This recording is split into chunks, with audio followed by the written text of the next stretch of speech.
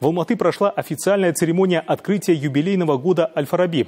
Торжественный старт празднования 1150-летия великого ученого состоялся во Дворце студентов при участии государственного секретаря Республики Казахстан Крымбека Кушербаева и Акима Алматы Бахаджана Сагентаева. К слову, глава мегаполиса выступил с инициативами, реализация которых в дальнейшем поможет адаптировать наследие второго учителя современности. Гости мероприятия, в частности, представители международных организаций, отечественных отечественные и зарубежные ученые поддержали идеи Акима Алматы. Подробности у Дины Жанабековой.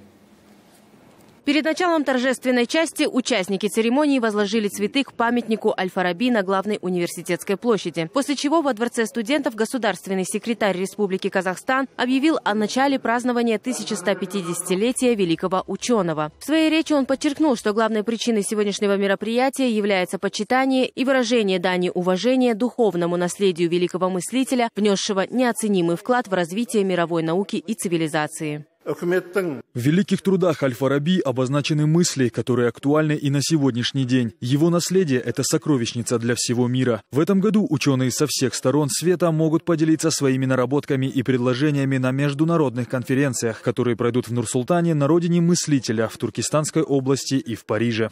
Свою очередь, Аким Алматы Бакджан Сагентаев отметил, что гордостью для казахстанцев является осознание того факта, что великий мыслитель – потомок казахской земли. Вклад второго учителя, а именно так называют Аль-Фараби, в мир таких наук, как философия, логика, метафизика и естествознание, не имеет равных в своей значимости. Глава мегаполиса предложил ряд мер для адаптации этих знаний к современности. Казахстан э, во-первых, нам необходимо собрать и привести все переведенные труды великого философа на иностранные языки из разных точек мира на свою родину и открыть центр Аль-Фараби. Во-вторых, Алматы – город молодежи. В связи с этим объявляем открытый конкурс среди студентов по изучению наследия Аль-Фараби на стипендии Акима Алматы. В-третьих, в городе проводится Олимпиада Аль-Фараби. Она должна проходить на международном уровне. В-четвертых, предлагаем разработать интерактивную карту по следам Аль-Фараби, на основе которой разработать маршрут интерактивного тура. В-пятых, предлагаю открыть уголок в обсерватории города Алматы.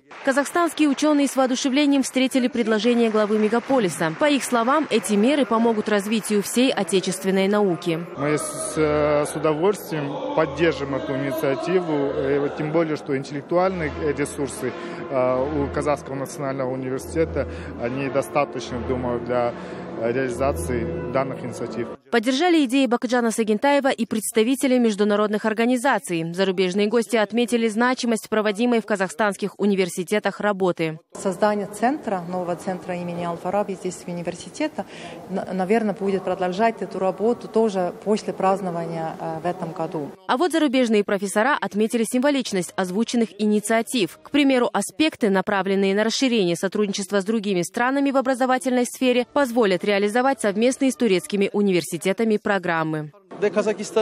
Господин Бакыджан Сагентаев выступил с очень интересными предложениями. Они включили в себя большой спектр культурных и, главное, образовательных направлений. Например, в наших университетах действует программа академической мобильности, похожая на Erasmus. Она носит название Аль-Фараби. Мы планируем в ближайшее время подписать несколько документов о совместном сотрудничестве с казахстанскими университетами.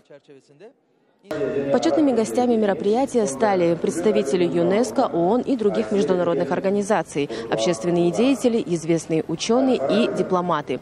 Все они сегодня собрались в этом зале. По словам иностранных делегатов, мероприятия, организованные совместно с Казахстаном, пройдут и в их странах. Дина Жанабекова, Валерий Таубалдиев, телеканал Алматы.